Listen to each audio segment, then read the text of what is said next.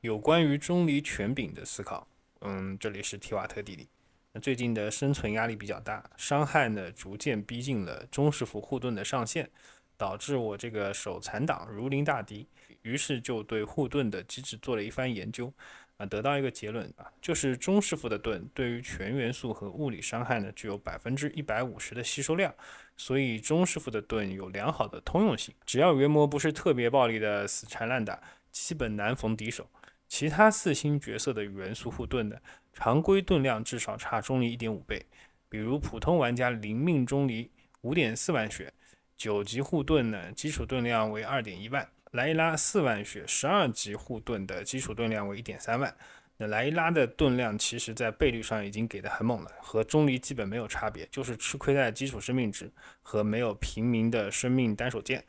不过莱伊拉这种元素盾，如果用对地方，那就不是一点三万了。冰元素百分之二百五十的吸收量，等效盾量达到了三点三六万，配合被动最大能有四点一六万。所以四星角色的元素护盾可以理解为对策盾，也就是钟离的护盾常驻百分之三十三的一个免伤，元素盾对于对应伤害的伤害减免达到了百分之六十。那么到这里，我觉得就从盾量和元素上细分了钟离和其他护盾的使用场景。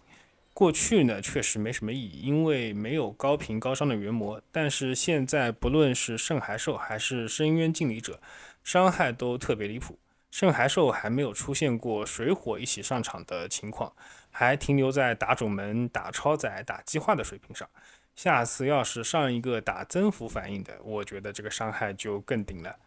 深渊敬礼者，我测试了一下他的伤害，大招一下能秒二点三万血。